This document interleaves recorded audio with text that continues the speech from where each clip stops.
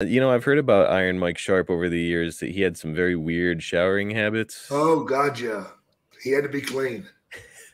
you know, that's why when he walked in the locker room, everybody would shake his hand. he'd, he'd shake one guy's hand, and Mike would immediately put his bag down and go into the bathroom and wash his hands for like three or four minutes. Wow. And then he'd get him off. As soon as he got him off, he walked back in the room. Somebody'd walk by him and grab his hand and shake his hand again. back to the bathroom he went. he was on in Philadelphia one night. He was on first. At the end of the night, he stayed in the shower so long that they locked up the building with him inside of it.